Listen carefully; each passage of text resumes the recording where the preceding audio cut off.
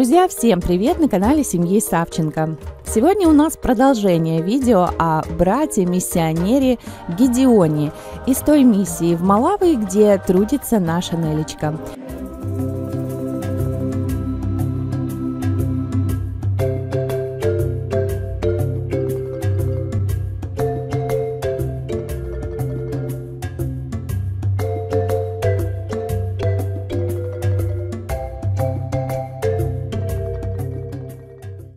Она также трудится с другими миссионерами, как Диана и девочки из семьи Шнайдрук из Миннесоты.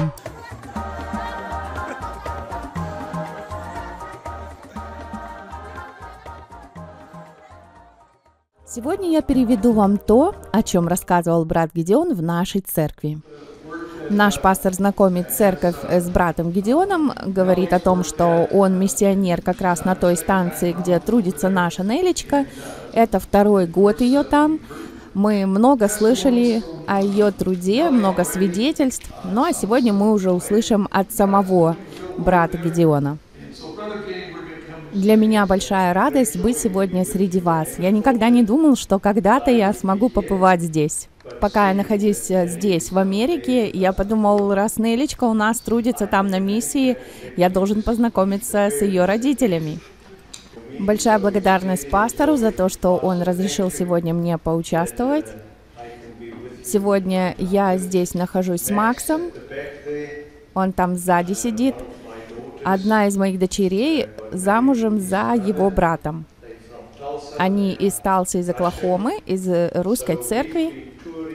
И мы из одной русской церкви в другую ездим по Америке. Шесть недель я уже в Америке, а следующей неделе я уже улетаю домой. Я хочу сейчас помолиться, а потом расскажу вам о труде, который мы совершаем в Африке и как Господь работает там.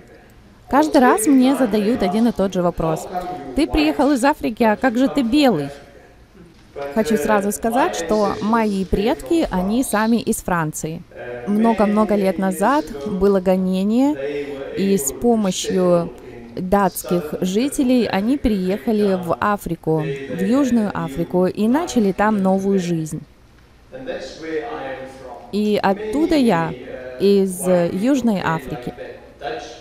Много-много там живут людей, которые говорят на датском языке и французском. В течение многих лет Господь благословлял нас там, в Южной Африке. Южная Африка — одна из самых замечательных стран в мире. У нас было и золото, и бриллианты, и платинум. Все было, о чем вы только можете мечтать. Там было в, в Южной Африке. Но прошли годы, и хотя наши предки, они все были настоящими христианами, они были настоящими богобоязненными людьми, но в течение нескольких лет мы потеряли Бога там, в Южной Африке. И когда дошло до нашего поколения, это мы просто были язычники. Мой дедушка, мой прадедушка, мой папа, они все были фермерами. Фермеры, они были богатыми людьми там, в Южной Африке. И так я вырос. У нас всегда были деньги. У нас были большие фермы. И я всегда искренне думал, что Бог допустил испытания и преследования там, во Франции, чтобы люди привезли Евангелие черным людям. Но на протяжении многих лет распространение Евангелия прекратилось, и люди просто жили богатой жизнью, забыв о Боге. Итак, мне было уже 30 лет, я был алкоголиком, жил аморальной жизнью, заядлым курильщиком. Мое размышление было такое – Бери от жизни все, что можешь, живи хорошо. Это лучше, чем быть лицемером, ходить в церковь и все равно где-то в тайне грешить. Но в 30 лет я понял, что я был очень несчастным человеком. Иногда я смотрел на животных на своей ферме, на овец, на коров и думал, Может быть, даже лучше быть коровой или овцой. У них нет никаких переживаний, никаких проблем. Я за ними присматривал, и они всегда были очень счастливы. В то время я даже не думал, что у Бога есть какое-то призвание для меня.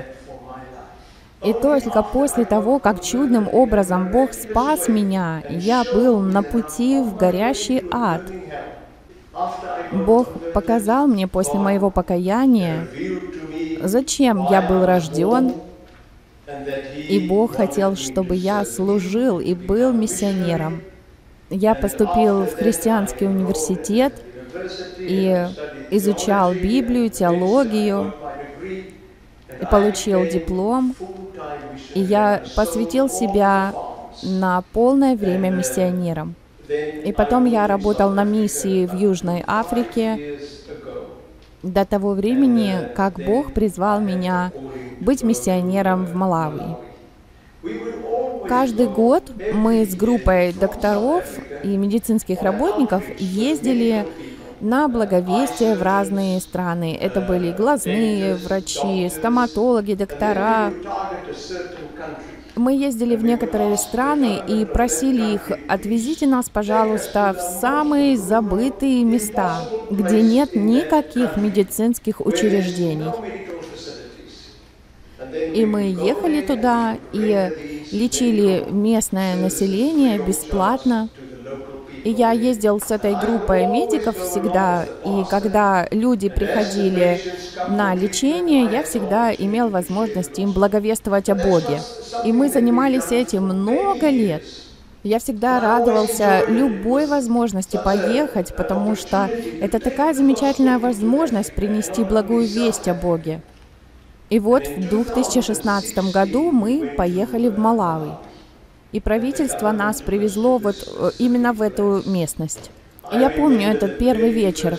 Мы хотели им показать фильм «Иисус». Но это был такой хаос, такой беспорядок. Я никогда не видел таких людей в своей жизни. Они не понимали ничего. Они смеялись над каждым сюжетом. Они думали, наверное, что я приехал их тут веселить и развлекать. И они старались в любом сюжете фильма найти что-то смешное. Они постоянно ходили, шумели, тишины никакой не было. Я думал, что за трата времени. Только потом я узнал, что эти люди, они никогда в жизни не видели белых людей. Никогда на этой территории не было ни одного миссионера. Уже не говоря и о церкви, никогда такого там не было. Они никогда не знали, кто такой Иисус, что такое Библия, что такое воскресенье, что такое грех. Я помню, один ко мне подошел и говорит, пастор, э, что такое грех? Он говорит, ты тут все говоришь, грех, грех, что такое, что вообще такое грех? Они не знали, что такое хорошо, что такое плохо. Они жили просто вот такой обособленной жизнью закрытого племени. Это племя находится в самом заброшенном людьми месте, сами по себе живут там. Они были отвергнуты государством, церквями. Даже местные церкви боялись туда ехать. Они говорили, нет никакой надежды на этих людей, просто оставьте их в покое. Но в тот вечер, после того, как э, я совершил попытку показать им фильм «Иисус», я пришел в свою палатку, я был очень расстроен. Я думал, что мне тут вообще делать? Я не знаю, как достичь сердец этих людей. Они пришли ко мне, и там стояла женщина одна. Она спросила меня, ты вот рассказывал про Иисуса сегодня.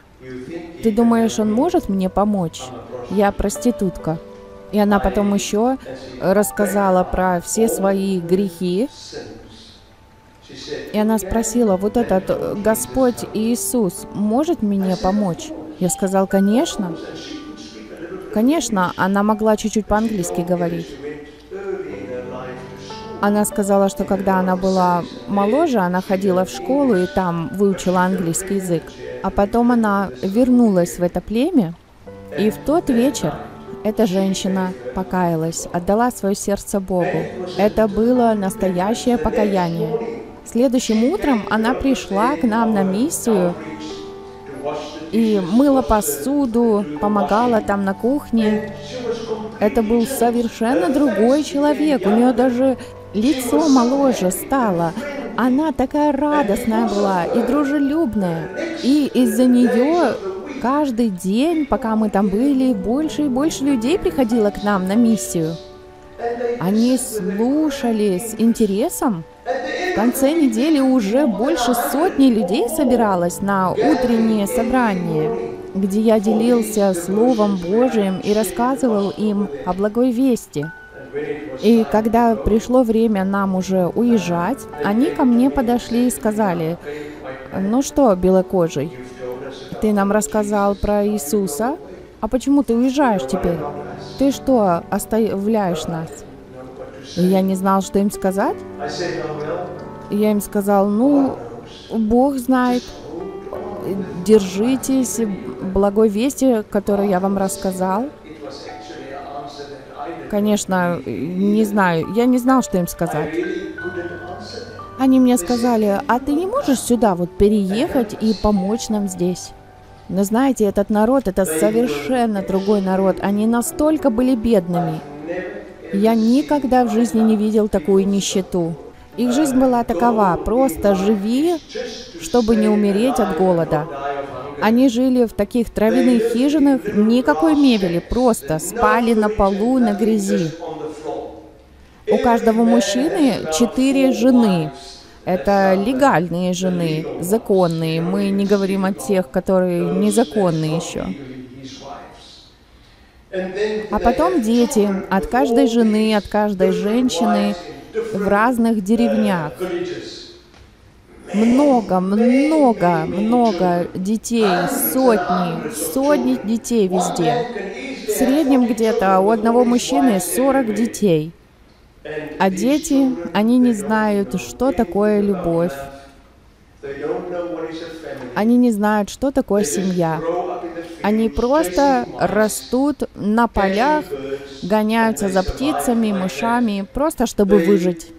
Никакой дисциплины. Родители пытаются с палками за ними бегать, чтобы хоть как-то поймать их, контролировать, и не могут. Это просто хаос. Я никогда не видел такой темноты в жизни. И вот эти люди, они хотели, чтобы я приехал и жил среди них. Вы знаете, как они неприятно пахли? Они никогда не мылись. Только когда шли дожди, и вода была там в ямах, они немножко стирали вещи свои. У них никогда не было мыла, они никогда не видели туалетов, они никогда не мылись в душе. Это была такая темнота и никакой цивилизации.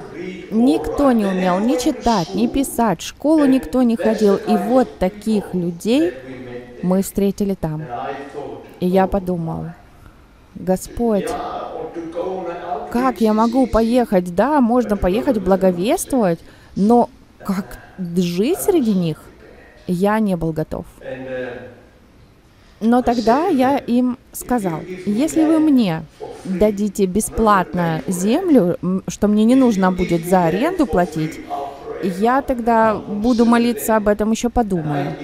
Я знал, что это невозможно. Никто там не дает земли бесплатно.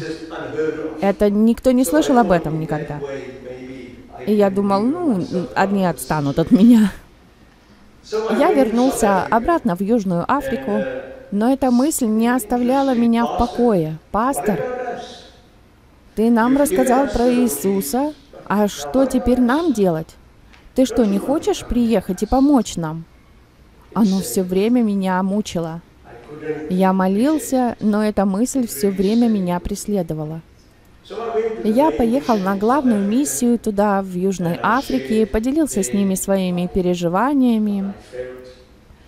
Они мне сказали, ну поезжай туда, еще раз съезди и посмотри. Может быть, Господь как-то тебе откроет. И в скором времени я действительно поехал туда по, на пару недель, просто проведать их, и они нам подарили землю. К моему удивлению, э, вождь этого племени подарил нам землю и много земли, 84 гектара. Это довольно большой участок земли. И тогда Господь заговорил к моему сердцу. Это было очень ясно, что Господь хочет, чтобы я там был. Мне нужно было просто поднять глаза и посмотреть и увидеть, что жатва уже созрела. Господь мне говорил, иди и пожинай то, что ты не сеял. И через короткое время я поехал туда с таким маленьким вагончиком, припарковал его под деревом.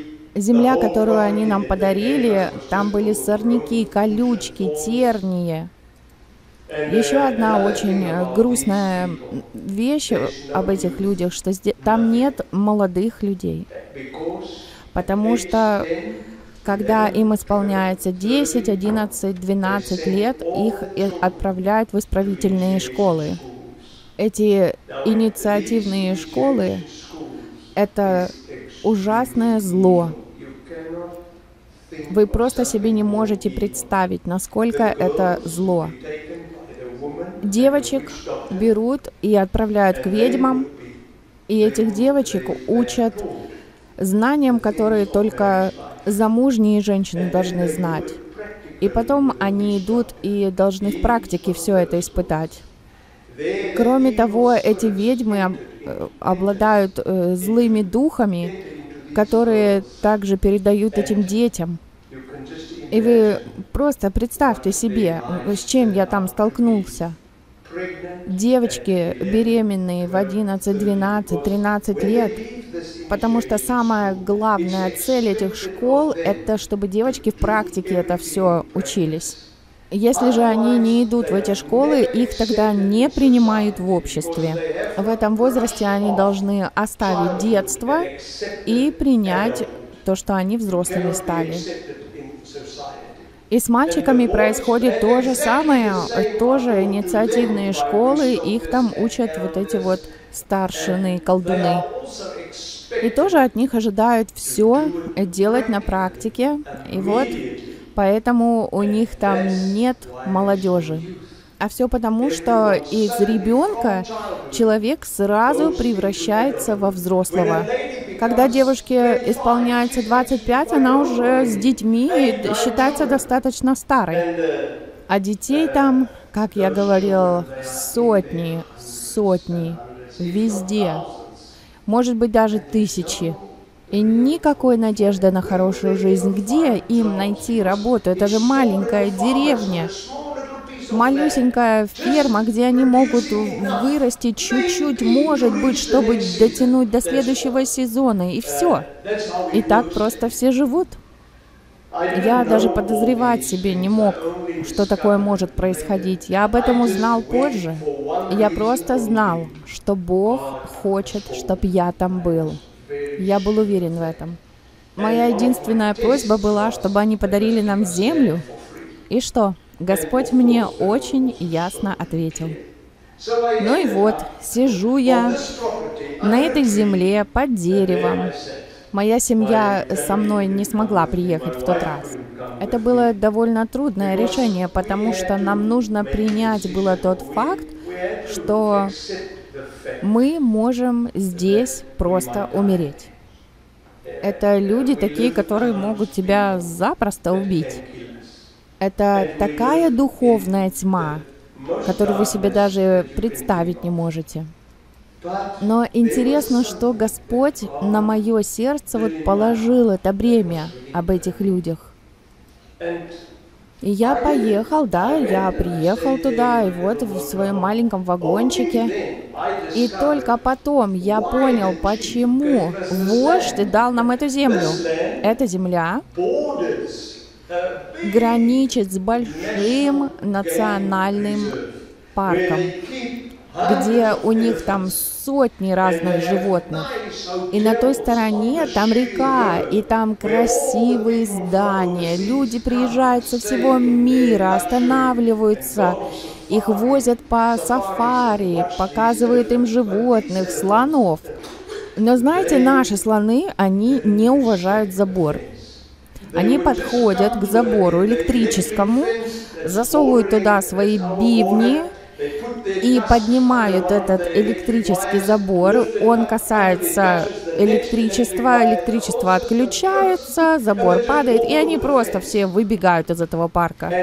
И поэтому никто никогда даже не пытался облагородить эту землю. Это была земля не людей.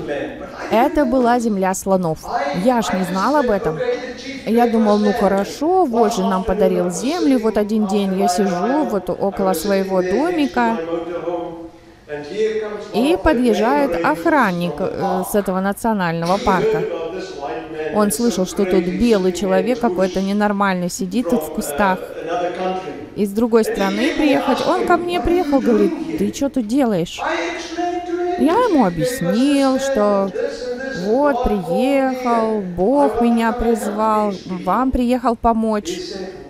Он говорит, что ты ничего здесь не делаешь, это земля слонов, ты не сможешь ничего здесь выращивать. Слоны все тебе попортят, ты увидишь. И он сказал, ну ладно, удачи тебе, и уехал. И я стал молиться и говорить, Господи, что такое? И может быть я тебя неправильно понял? Но этого не могло просто быть. И в сердце я услышал голос Божий, не слушал людей, я тебя сюда послал. И что я сделал? Я позвал людей из деревни и сказал, слушайте, давайте вот почистим все эти сорняки, я дам вам работу. Я вам сейчас не могу заплатить, но я уверен, что мой Бог, который призвал меня сюда, Он вам заплатит, я уверен. У меня нет с собой никаких денег, я просто миссионер. Но у меня есть Бог. Я ему доверяю. Он вам заплатит. Мы начали работу, стали убирать сорняки и деревья, но скоро... Но вскоре тут показались слоны. Шесть, двенадцать слонов. Они подходили к деревне и снимали травяную крышу. Эти слоны забирали кукурузу у людей, все съедали, уходили, все разрушали у нас. В один день а мой друг приехал из э, Франции. Я поехал в аэропорт, чтобы его встретить. Едем мы из аэропорта, и нам навстречу несколько слонов. Я так пытаюсь объехать их, э, показать ему вообще, вот как мы тут живем. А он вышел из машины и побежал к слонам. У него был такой фонарь. Я думаю, о, что он делает? Сейчас его там затопчет.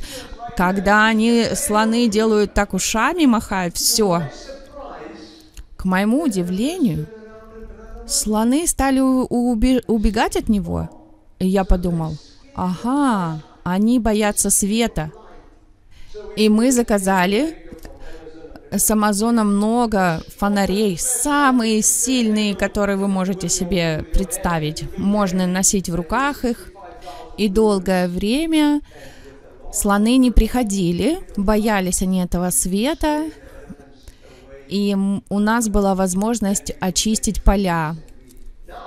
И вот э, год назад правительство изменило закон, и они в этом парке построили еще электрический забор с э, металлическими шипами. Теперь никаких проблем со слонами нет. Теперь они никогда не выбегают, и люди могут спокойно заниматься земледелием, у нас замечательная земля, очень плодородная. А вначале у меня была какая-то обида и недовольство. Я думала, ну что за землю нам дали? Но Господь показал мне, насколько я был неправ. Если бы это была хорошая земля с самого начала, люди бы там жили. И нашей миссии никогда бы не досталась эта земля. Но из-за слонов мы эту землю получили. Вот так вот я коротко вам рассказал, как мы начинали там. Было очень много, конечно, проблем. Я немножко расскажу вам, как я нашел милость в глазах этих людей. А, чтобы вы могли просто представить себе, как эти люди могли при- принять меня, что они мне доверяют. И сегодня мы семья. У нас более 250 обращенных людей, 118 школьников на миссии в школе. Они настолько голодные по э, Слову Божьему.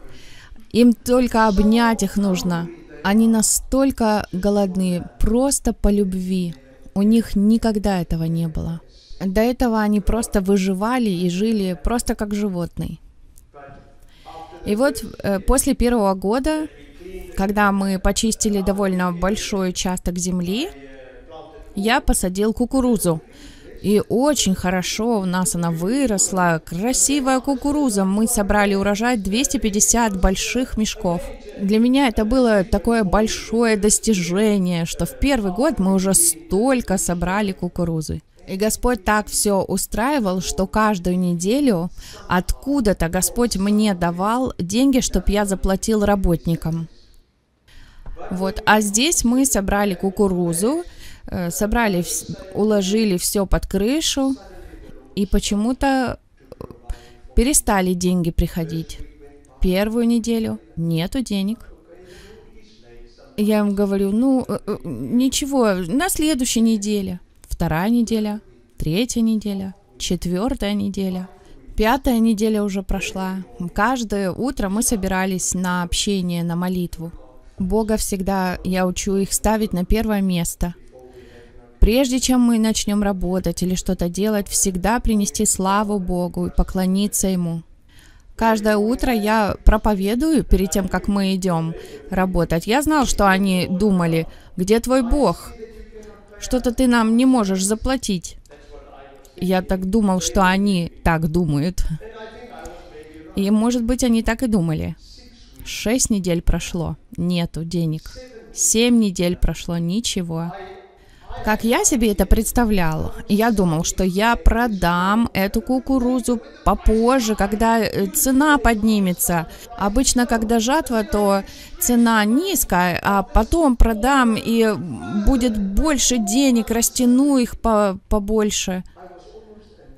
У меня было настолько нервное напряжение, я вообще ничего не понимал, что происходит. Я больше не мог улыбаться. Каждый день я ходил к моему дереву около моего дома. Я говорил, Господи, что ты делаешь? Эти люди меня просто убьют. Может быть лучше, пусть они меня убьют, потому что я уже не могу это вынести.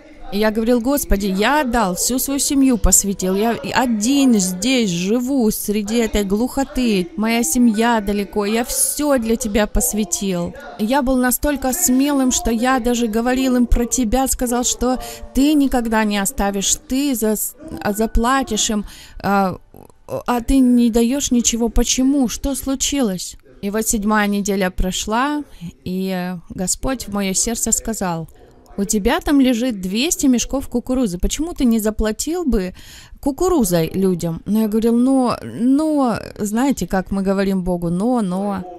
Ну хорошо, собрал я всех людей и спрашиваю их, будете ли вы довольны, если вам заплачу кукурузой? Да, да, это замечательно. Правда заплатишь нас, нам кукурузой? Конечно. В общем, мы назначили цену, все заплатили, раздал я всю кукурузу. Фух. Я думал, я выжил это. Бать, следующая пятница опять надо платить? Ладно, доживем до следующей пятницы, посмотрим. И вот после этой седьмой недели решил я поехать в город. И взял я с собой одного человека э, из моих работников. И он мне говорит, пастор, ты слышал, э, что люди говорят о тебе? Я говорю, нет, я ж не понимаю, что вы там говорите. Он говорит, они, люди говорят, мы следили за этим белым человеком. Помнишь, он говорил, что он приехал помочь нам, что его Бог послал к нам. Но мы слышали, что белые люди, они любят деньги, у них всегда большой кошелек так отпирает, и прежде чем они заплатят другим, они все оставляют себе много. И мы думали, что он сделает с этой кукурузой. Но сегодня мы увидели, он честный. Мы теперь ему точно можем доверять. Он вообще себе даже не оставил кукурузу. И сегодня мы его принимаем. Он настоящий, он может быть нашим лидером. И с сегодняшнего дня мы пойдем за ним, куда он поведет. Друзья, когда я это услышал, я просто расплакался. Я сказал, Господи, я такой грешник. Какой же я миссионер? Мне нужно еще проповедовать. Я еще и с Богом воевал. Я вообще недостоин этого. Я очень быстро научился тому, что Господние пути — это не наши пути. И если ты хочешь быть миссионером, то приготовься, Господь будет с тобой работать. С того дня начались обращения у нас в церкви. Люди приходили, каялись, жизнь их менялась. И теперь ферма — это у нас место, где люди могут работать и зарабатывать деньги. Через эту работу их сердца становятся очень мягкие. У них никогда в жизни не было работы. А теперь у них есть деньги, они могут покупать одежду, они могут покупать мыло, дома свои обновлять. У них вся жизнь изменилась, потому что у них появилась работа. И теперь мы разработали землю, мы посадили тысячи и тысячи манго деревьев. Эта земля, она просто предназначена для того, чтобы выращивать ма- э, деревья манго. Мы хотим, чтобы у нас на нашей ферме было достаточно продуктов, чтобы мы могли содержать свою школу и свою миссию, чтобы мы могли ездить на благовестие сами, без посторонней помощи.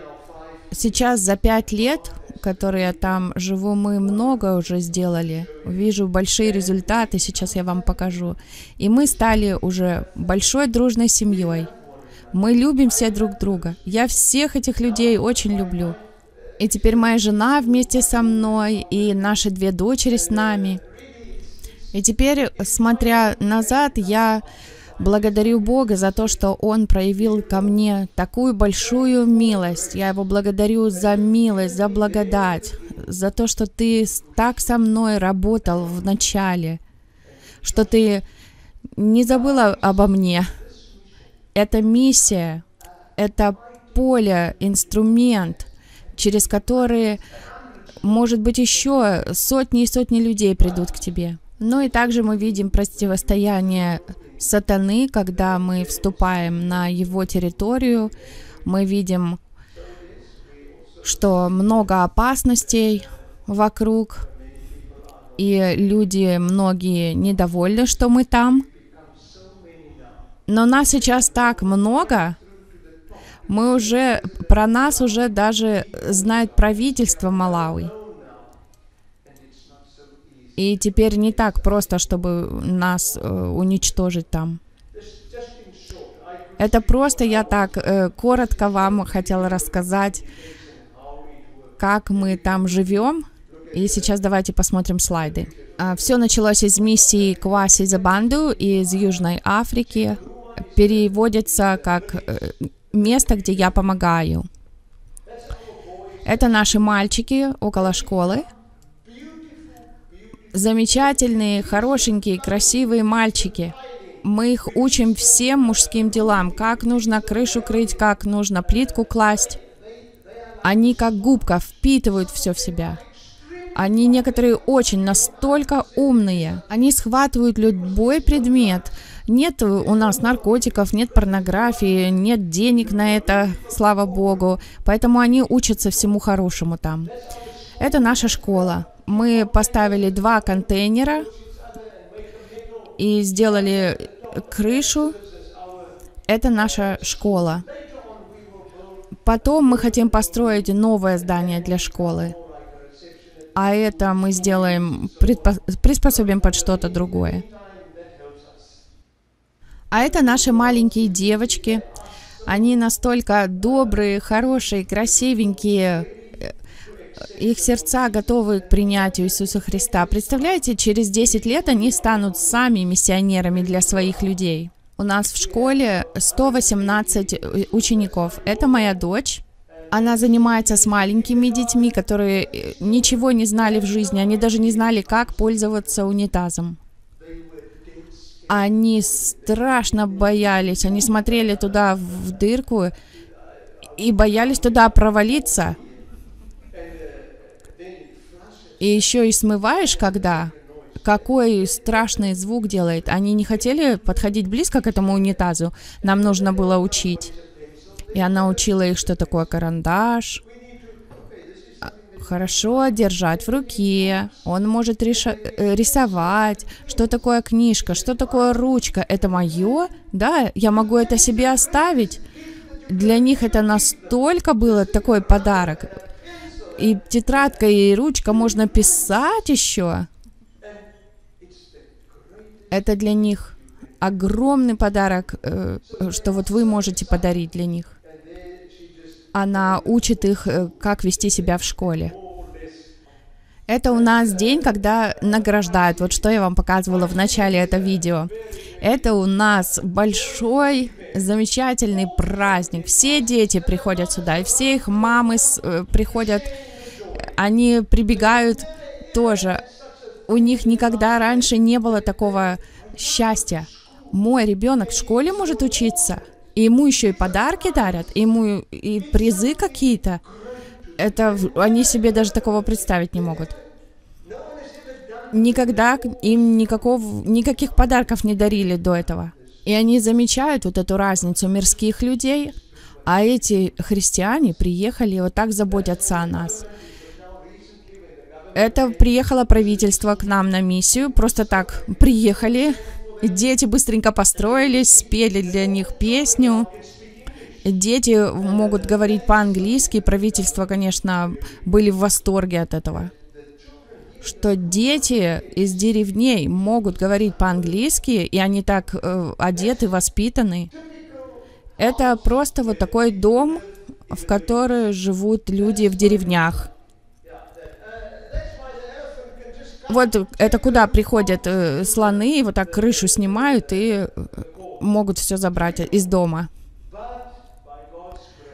По милости Божьей мы э, строим вот такие вот дома сейчас людям. Это мы построили дом для девочек. Это на миссии у нас живут девочки. У них есть э, столы там, где они могут сидеть а это дом для мальчиков. Вот они, видите, тут сидят. У них есть шторки, полки, у них есть пол настоящий, у них есть кровати, что у мальчиков, что у девочек. Они сами построили эти кровати, сварили из железа. Парты у них есть, настоящий душ есть, туалет. Унитаз стоит. Это третий дом, который мы построили. Недавно совсем тоже, видите, есть и все полочки, и кровати, и душ, и туалет с раковиной. Вот мальчики здесь сидят. Мы свет поставили, свет, э, лампочки. И мы все скажем, что только Бог мог это сделать. Откуда эти люди пришли и что сейчас с ними происходит. Вот посмотрите, в каких домах живут люди обычно. Это одна комната, папа, мама, все дети, все спят на полу. Сами думаете, как вот вся семья помещается, как они живут. У них там кухня, как э, старомодная такая. У них там никакой гигиены нет. А в последующие годы мы хотим построить хорошую большую кухню с плиткой на полу, с плитами, готовить, чтобы так по-настоящему. Вот так у нас сейчас готовят наши сестры. Э, дети выстраиваются перед школой. Мы их кормим несколько раз в день. Дети приходят из деревень. Они приходят очень голодными. И сначала их нужно накормить, а потом уже учить. Это мой дом, где я живу со своей семьей. Я в том э, маленьком э, фургончике жил три года, а потом мы привезли э, два контейнера. Мы с женой живем на первом этаже, и моя дочь с зятем и их дети живут на втором этаже. У нас все на солнечных батареях, наш, наш колодец, наш свет, все на солнечных батареях. Это внутри нашего дома. Очень у нас хороший дом, моя жена очень счастлива, ей не нужно идти на улицу посреди ночи с фонариком, там, где э, скорпионы там лазят где-то. У нас все есть в доме, я вижу, что она уже освоилась тут. Это на втором этаже. Э, наша дочь с зятем, с детками живут там. Сами это все построили мы тоже. Недавно они сделали ремонт там тоже. Это их спальня. Мы вообще очень хорошо живем в этом контейнере под деревом. А почему вы под деревом живем? Потому что когда контейнеры привезли, то нужно было зацепить за что-то, чтобы их спустить на землю. Поэтому мы завязали контейнеры к дереву, трактор отъехал, контейнеры упали на землю, и наш дом поэтому на этом месте стоит. У нас есть трактор, у нас есть другие приспособления. Господь нас очень благословил, чтобы мы могли заниматься земледелием. Это наши работники собираются каждое утро в 5 утра перед работой для меня это радость. У нас такое правило, что если ты не пришел на общение утром на молитву, то никакой тебе работы, никакой тебе зарплаты. Никогда нет с этим проблем. Все они приходят, любят очень общение, молитву. Это вот так я выгляжу, когда я работаю тоже на поле с работниками. Это наша маленькая кукуруза. Это вот она уже подросла. И вот этот мальчик, он когда пришел к нам, он уже был слишком большой для школы. И он уже учился где-то и сказал, все, уже я уже слишком большой, уже хватит мне уже учиться. Мы говорим, ну ладно, э, знаешь математику, нормально. Э, обучили его, как ездить на тракторе он настолько э, ответственный, он все делает так хорошо, лучше, чем некоторые взрослые. Вот он ездит туда-сюда, в деревню заезжает. И представляете, мальчики в деревне, которые не ходят к нам в миссию, неверующие, смотрят на него, думают, этот парень на тракторе ездит. Э, они самое большое, что знают, это велосипед, может быть. Это наша соя растет. Это наш сарай для всяких инструментов, машин. Это внутри. Мы сейчас только недавно э, расширили его и крышу построили. Полки всякие постро... положили и построили, и наши инструменты там лежат. Это наша плантация манго. Мы сажаем дикие деревья манго, которые растут около деревень, и прививаем хорошие растения манго, и очень хорошо выживает, у нее хорошая корневая система и приносит очень хорошие плоды манго. Это у нас первый урожай был. Женщины собрали. Они все носят у себя на голове. Они 50 килограммов могут носить на голове. У нас э, очень много женщин на нашей миссии.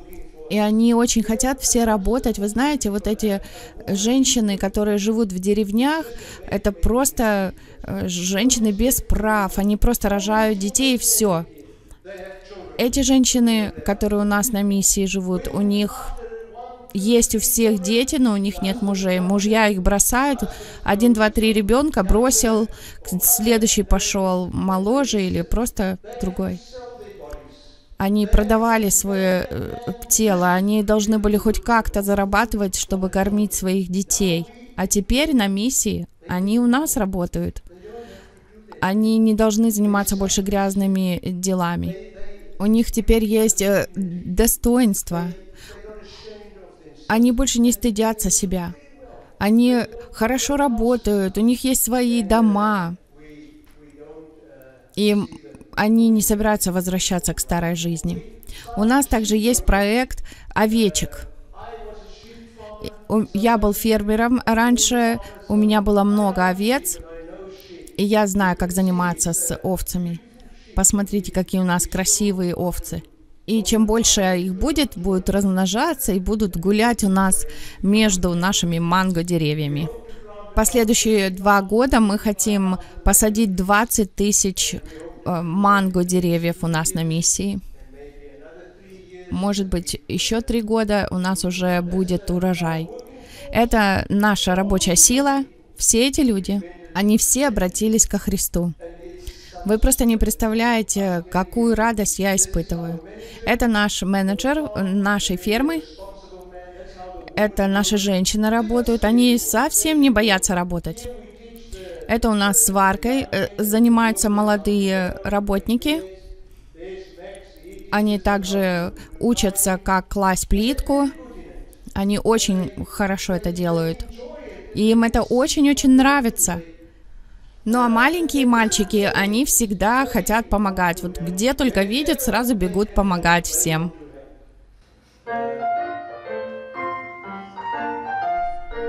Ну, конечно, здесь немножко преувеличено, как насколько быстро они работают. Они очень проворные. Это кирпичи, которые мы э, покупаем у местного населения. Эти люди, до того, как они узнали Бога, они настолько привязаны к колдовству. Но когда Господь их спасает души, Он освобождает их души и сердца. И это э, по-настоящему хорошие люди. Это наш мальчик, он сирота.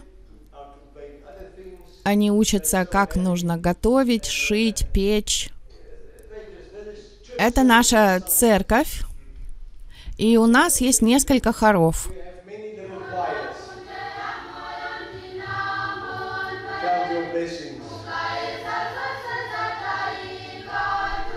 И они едут с нами, когда мы едем благовествовать в другие деревни.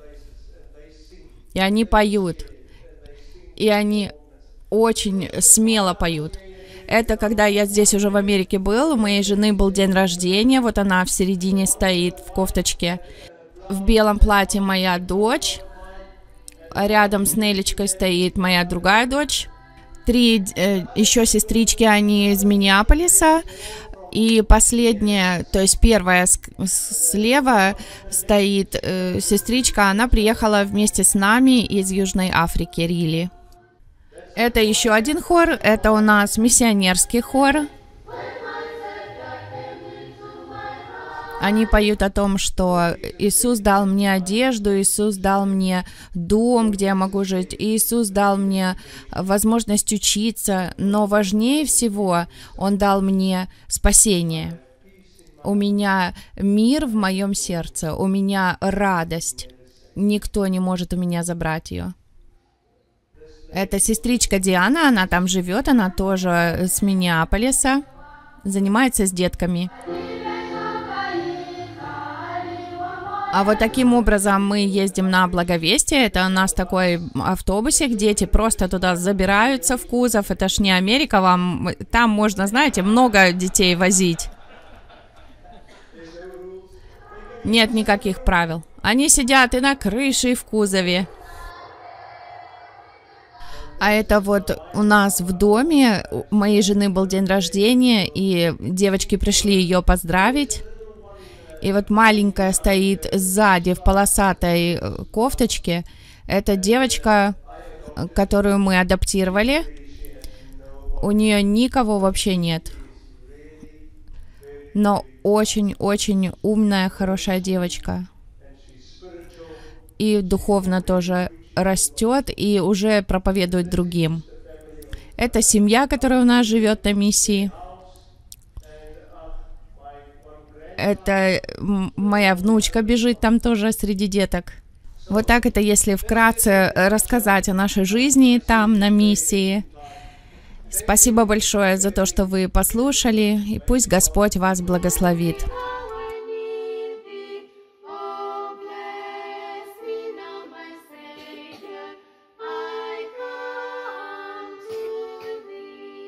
Дорогие наши друзья, благодарим всех, кто досмотрел это видео до конца. Надеемся, что оно было благословением для многих. До следующих встреч!